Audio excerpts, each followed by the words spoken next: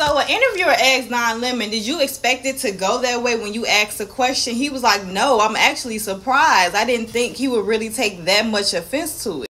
But Elon must feel like he's too above the question, so he felt some kind of way. And if y'all don't remember, they were supposed to have a collaboration. I thought that it was a show that Elon Musk was um has created and then Don Lemon was going to go on that show, but that's not the case. It was Don Lemon's show, which he still has, and it was going to be a collab with X in a um publishing deal.